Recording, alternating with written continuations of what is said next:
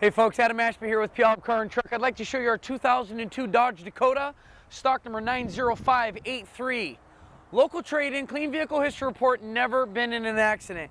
Just a nice, basic little truck, 2002 with only 60,000 miles on it. Good on gas, good reliability, nice, nice, clean vehicle. As I mentioned, no accidents. As we walk around the Dakota here, please take notice of the condition of the exterior. The body the paint itself are in excellent condition. Bench seat on this one, as you can see, seating capacity for three passengers across the front. Does have automatic transmission, as you can see. It is a two-wheel drive. Going to give you great fuel economy. Matching canopy, as you can see. If you're looking for a nice basic truck that's reliable, low miles, good on gas, inexpensive, come on down, check it out, take it for a test drive. Feel free to call me personally at the number you see at the top of the screen or any of our educated sales staff.